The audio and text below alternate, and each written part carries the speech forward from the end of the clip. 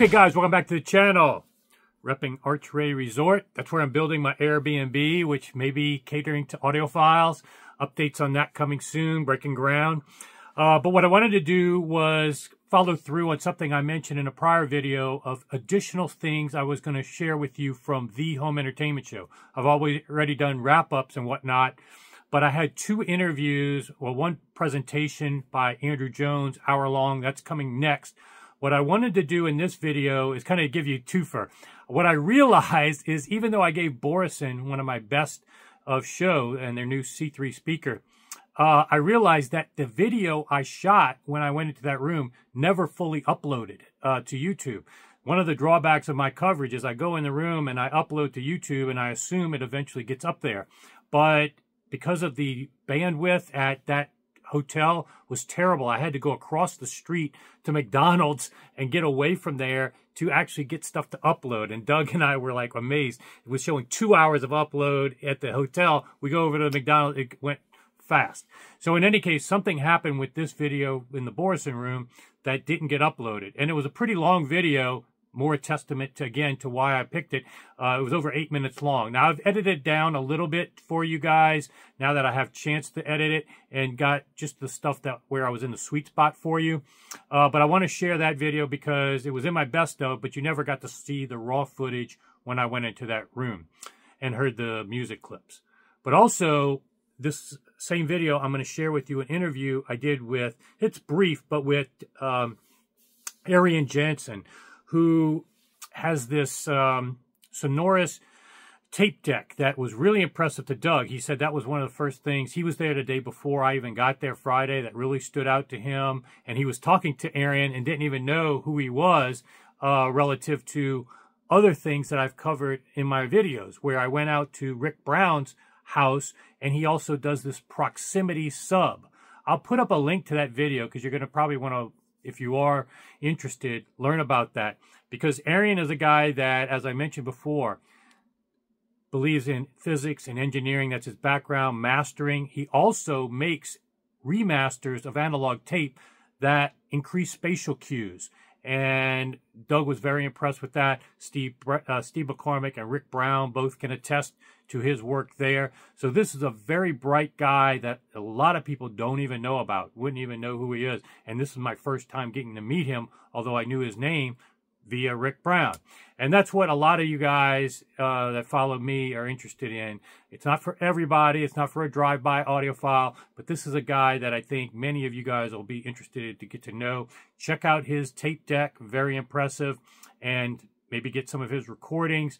And I promise to have more in the future, especially on that proximity sub. He's just not making it a commercial product, but if anybody's going to get it, it's going to be me uh, in the future to try it because my limited exposure with it at Rick Brown's house was very impressive in an AB.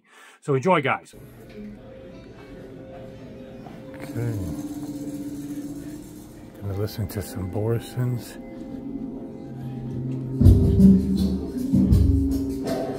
Not these right now.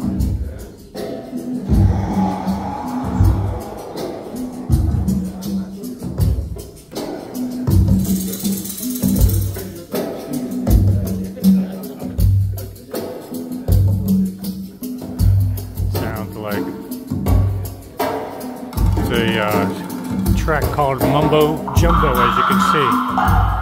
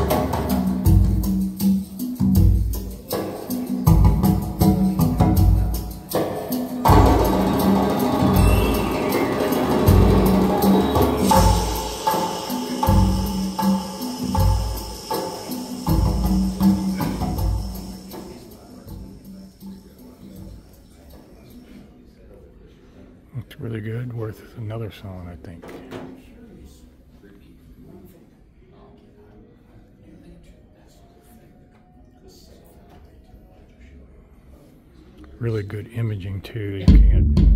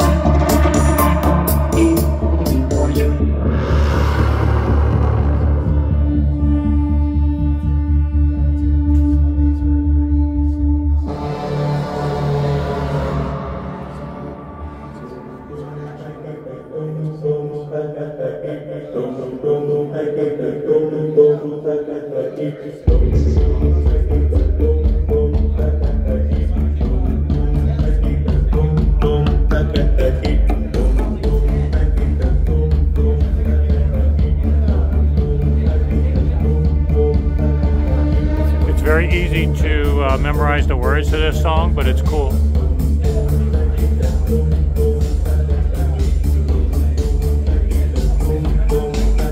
Very good. We're here with Arian Jansen. And for those that are longtime subscribers, you'll know that I saw and heard a proximity sub in Rick Brown's place, and Arian is the inventor of that. Um, We'll talk about that in a little bit, just on a cursory level, because it's not really a marketed product for, per se.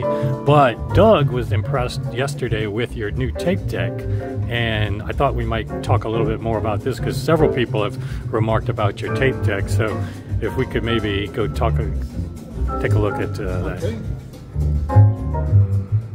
I don't know if we want to turn down the music a little bit, but.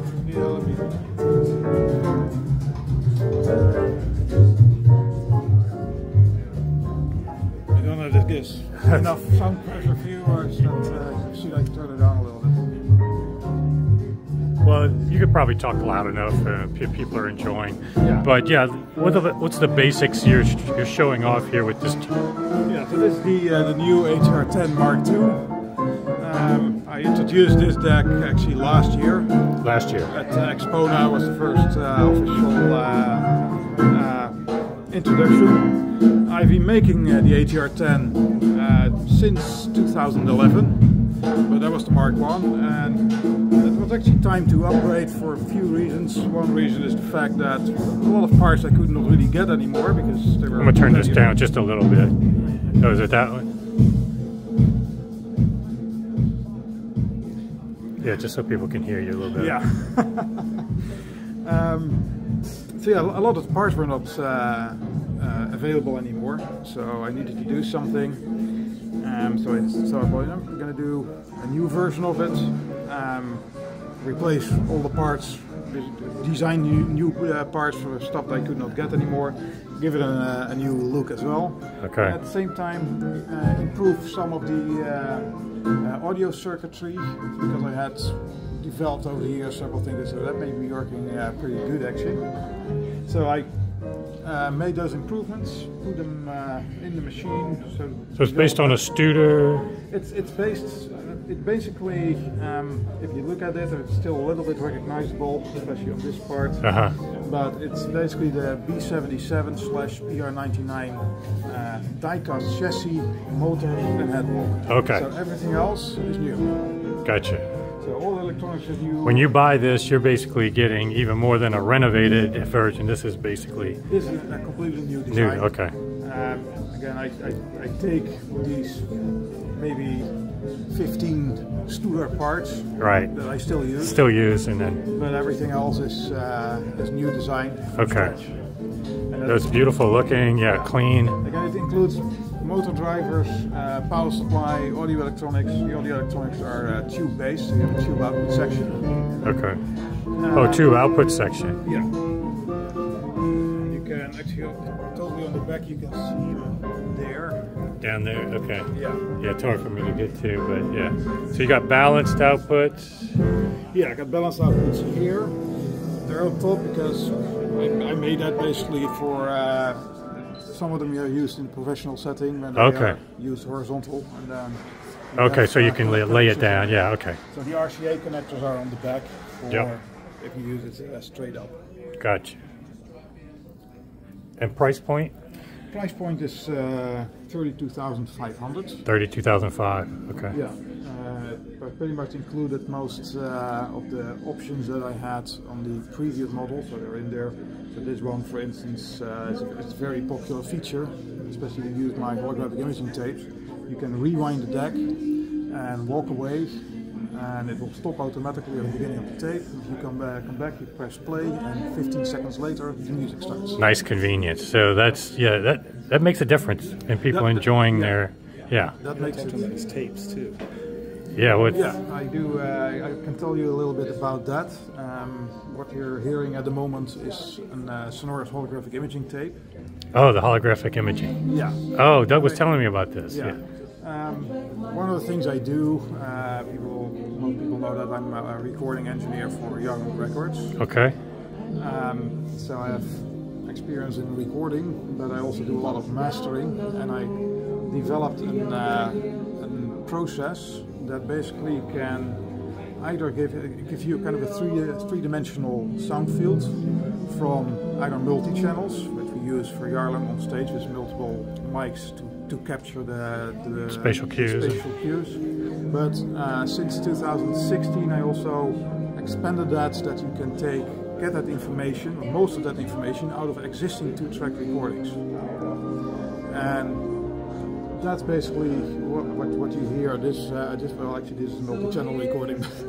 Some of the other ones are uh, just stereo recordings. Stereo recordings uh, that you kind of remix in a way. Or? I, I basically run them through this process, and that process uh, unfolds the, the information that is really already there in the recording, but it's not picked up in the correct way. That's why you normally do not really hear it. You- can hear it to some extent, especially if you're a trained audiophile.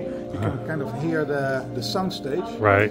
But normally, if you take your uh, your cousin that has no interest in audio, put it in front of your system, you will never get much further than anything, let's say, within the speaker field. If you do this, because it's basically correct for the, the errors in that, if you play that same album through the holographic imaging, even your cousin that would have no interest in audio Oh, hear in the chair, difference. hears the whole soundstage. First time you'll uh, hear it. And- These, these are recordings that people have that you then convert to tapes Yes. with that holographic Yes, image. basically what I do is uh, if, if you own an album, let's say The Dark Side of the Moon, Yeah. every- everybody has that. set. Yes. Dark Side Or eight Moon- copies of it, like me. Yeah. You can give Moon, him one copy. That's right. Yeah, you, you basically, uh, if you can uh, prove that you have ownership of a legal copy of that, so It could be in a vinyl record, could be CD, could be a- SACD. an eight track, SACD. yeah, or something like that. Steve, Is there- is is there there- about his Is there a holographic? preference to Have you you heard as far his as holographic best- tape? No, Yes, I have. Because I normally use. He uh, has, he has the- talked about that information before, and we've Okay. heard, we've heard some of the But results. I need to know Yeah, they're- you I'm just learning about this, yeah. Oh, so- because so- I have no legal rights to Gotcha. sell, uh, so, sell an so you're not so taking the physical album from someone; they just need to show that they own it. They own And you have a lot of stuff. And, and then I will, and then you, the tape will basically be your personal Version analog, of uh, analog copy.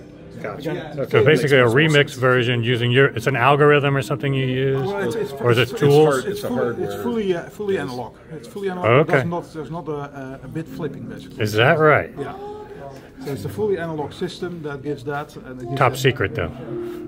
Well, yeah. I mean, I'm, I'm, not, I'm not advertising the content. Okay. uh, No. Well, now now that we're on the top secret stuff, you got to explain the proximity sub to me, just in general. Okay. Actually, it's kind of interesting because what happens in this room, we happen to be here in, uh, in Scott Walker's room uh, where he sells my tape deck, but he also sells von Schweikert speakers. Yeah. And von Schweikert's actually does something similar to what I did with my uh, uh, proximity sub. And you, see that down? in the back of the, of the room here, there are two large subwoofers that are sitting basically closer to the listener than these speakers. Yes. And what what we and that the proximity sub does the same. It's a little bit more uh, optimized. So I have special setup tones and everything to do that. But this does virtually the same. It basically corrects the the sound wave uh, of the bass at the listener position.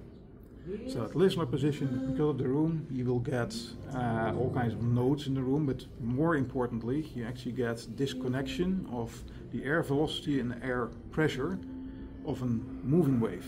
Okay. And that is the reason why often if you just put a normal measurement microphone there, so well, it's pretty flat, but then you listen, I don't hear any bass. How's that possible?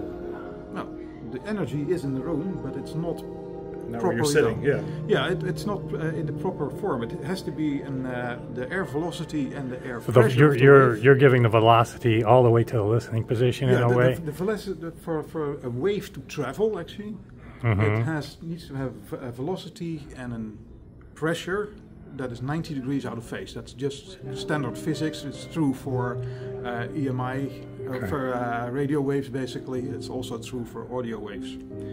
Um, but that, because of the room, and uh, the room is often small compared to the wavelengths of those bass frequencies, you lose that 90 degrees uh, connection, and your ear will kind of see that as a flapper on your ear, and your brain will take it out. So that's why you do not hear the bass. And while you measure it, say, well, it's there, but I don't hear it. Because the mic hears it, but your ears. Okay. But your brain takes it out. So if you correct that with the um, uh, with the proximity base, which normally a small subwoofer, again, this is very similar to that. Um, you will get a uh, very good bass on the listening position. And do you hook it up the same as any other sub in terms of it will be sitting. Uh, yeah, you basically hook it up. in terms of a line level in and Yeah. then I mean, I, I used to have a controller basically. okay. Which I saw the uh, controller, Yeah. But it's getting the same signal as your other gets the same, speakers. same signal, just a line signal uh, between your from your preamp basically. Okay. you, uh, where you put in the, another sub as well, Okay. but this box is in between. Um, And it assumes you have a closed door room, right? well, yeah, that, that depends. I always say, uh, how, how do you uh, listen most of the time? Okay, whatever is normal. Yeah, Okay, yeah, all If you always have your door open, uh, It's less- calibrated less- though for one style of the room. Yeah, I mean, And then you usually keep yeah, it at that will be completely off when you open the door, but Right. I always uh, said to people, okay, how do you normally listen here? If the door is always open, then let's optimize if the door is always open. Okay. And it doesn't require huge drivers or anything. No, it's uh, because uh, the proxy sub itself only it needs to correct either velocity or pressure because uh, we have a, a mismatch there. Well, velocity is not very easy to correct because then you need large, large uh, panel uh, speakers. Okay. But pressure you get basically from a small closed sub. No, Okay. No, uh, ported or uh, passive radiators, closed sub, and preferably a small one. Okay. And that will give you an abundance of pressure and a limitation of, of velocity. So with that you can correct the right balance again and the right phase at the listener position. Well, I know it's not a marketed product right now. Um, I did hear it, A B it at Rick's, and I was impressed in the preliminary. One day I'd like to try it, especially if it becomes a marketed product again. But I'm glad you explained it to. Well, I still don't know it, understand it fully, but that's Yeah. probably intentionally. Uh, but yeah, this No, is it's, um, it, it- it's kind of difficult because it, it really goes into. There are two things that really play a, a role there, and that's the the, the physics of, uh, of wave propagation. yeah, But the other hand is the uh, psychoacoustics. The same thing with the holographic imaging. Yes. It's all about psychoacoustics. Well, I look for people that understand that level of it too, because if you don't, Yeah. then you don't really understand why sometimes the measurements don't correlate. And it's all about correlating what's in your ear to the measurements to be able to do things perfectly. Yeah. And again, your uh, your your hearing is not only your ears; it's probably even more your brain. Yeah. And your brain will normally not accept things that are not correct. It will Yes. just try to. Yes, it knows out. what's reality. Yeah. it'll try to block it out. That's, that's actually a natural thing because for Right. uh, for people that live in the middle of nature and everything. Yes, and you need to animals you need to be cognizant yeah, of anything that's out of place. Yes. Yeah, and, and all the stuff that's go, going on continuously that kind of disappears from your brain. Just like your ticking clock. You don't hear the ticking of your clock, even if you try. You have to try very hard to hear your clock ticking, even though it was Exactly. Yes. And that's the same here, is that the uh, your brain will take out the bass if it's not properly uh, related uh, between the, the, the pressure and the velocity and the weight. Your brain will just suppress it.